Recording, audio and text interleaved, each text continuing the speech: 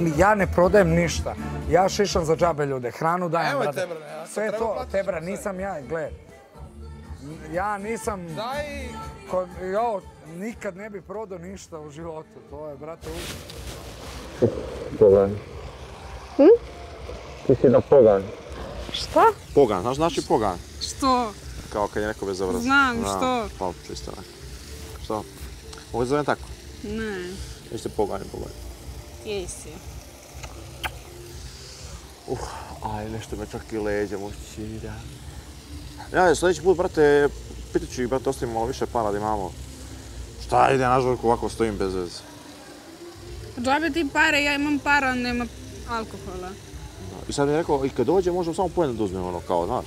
Ne možemo jednom uzmeš po dva. Da. Pa i ovako nisu ti dali, dali su ti samo dva da uzmeš. A, da.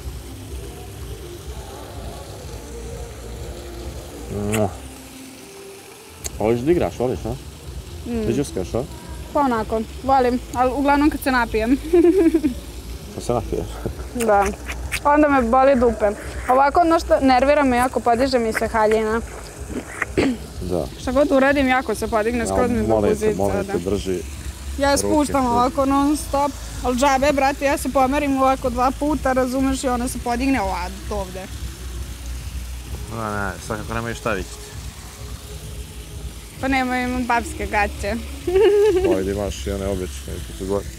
Alo! A jel? Šta imaš kao neke atribute? Jel? Pa nisam vidio. A ni pipao. Hm? A ni pipao. Šta li? Neko nisam ni vidio, ni pipao. A je. Pa tako da ne znam. Obučem mi košarkaški šorco. Pa ja, kako ja mogu provaliti? Pa šta fali? Nije, ne, Jo, Pa ne fali ništa, nego kažete kako mogu provaliti. I nemam Jel imaš ono, dupe. stavi ruku ako ćeš. Kao, A da, evo nas ovaj. Evo ovako sad, sad vjerojatno kamere gledaju nas, mi šetamo. Pa sigurno. Manekenišemo se. E ovako da smo ono u noć šetali, to bi bilo lijepo. Koju? A ne onako odvojeno. Ono kad su birali mistici i mistere.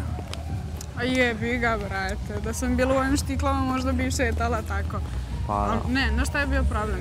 Ja sam mogla, ali meni se mnogo spavalo. Ja sam samo htjela da prošetam, da siđem odatle i da se to što pre završi da idem da, Da. spavam. Da, pa ja sam kad sam slušao komentare,